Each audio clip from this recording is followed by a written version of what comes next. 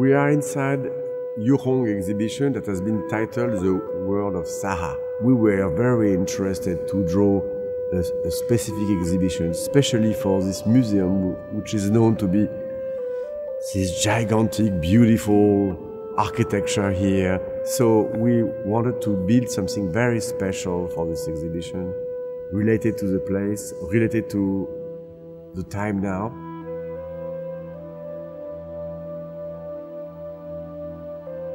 娑婆这个是一个佛教的一个词汇嘛，它是讲这个宇宙当中有无数个世界，娑婆世界呢，它是其中之一，也就是我们现在生活的这个世界。我们的世界其实就是整个宇宙当中一个非常渺小的，但是我们自己生活在这里头，我们认为我们的世世界很大，然后我们面临的问题很重要，但实际上它都是很小很小的一个点。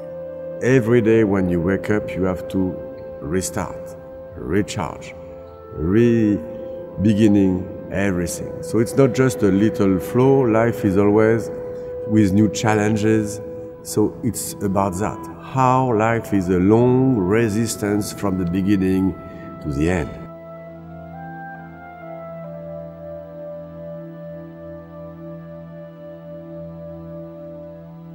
The first chapters we are facing one of the grand painting here is showing for me from the beginning that she's putting us in a perspective where we are in between tradition and modernity. 最主要的这一件作品呢，叫做《愚公还在移山》，它是根据愚公移山这个古代寓言来创作的。呃，加入了很多当下的一些元素，比如说有各行各业的人、不同年龄的人都在跟这个山对抗，有点像一个我们这个世界的隐喻，就每个人都在做各自他们认为对的事情，但实际上这些东西反而使这个世界变得更加复杂，更加呃令人困惑。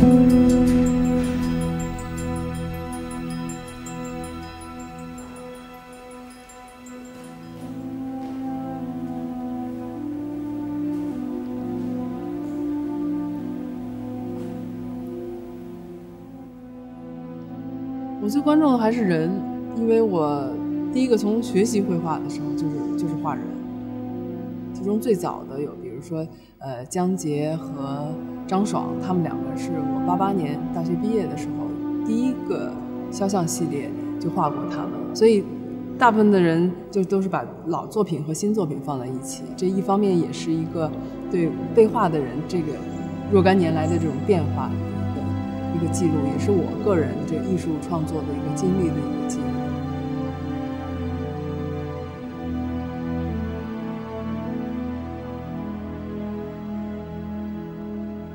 呃，第三个部分就是 VR 作品。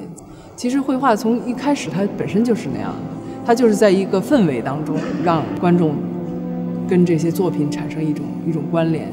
那 VR 其实某种程度它强制你就通过技术就进入这样一个。觉得他其实达到了某种绘画，呃，很难胜任的，又又希望达到的东西。In chapter four, she systematically decided to make the journal of her life.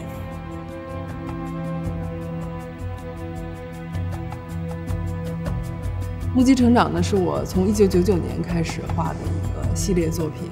它其中包括两部分，就是右侧是我根据家庭当中的这些相册来画的，左边呢是新闻图片，这些图片都是发表过的一些照片。这两个绘画和图片都是在同一年发生的。那么从我出生一直到现在，每一年都在画，而且这是一个继续成长的这样的一个系列作品。Changes in China are endless, never stops. It's as beautiful as scary. So mixing our, let's say, small history to the big history, from personal to society life.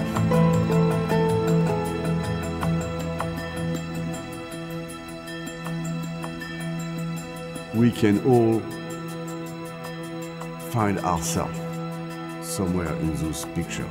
We are all in it. So there is this dimension which I find very fascinating in, in this uh, exhibition. Thank you very much. Merci beaucoup. Chéché.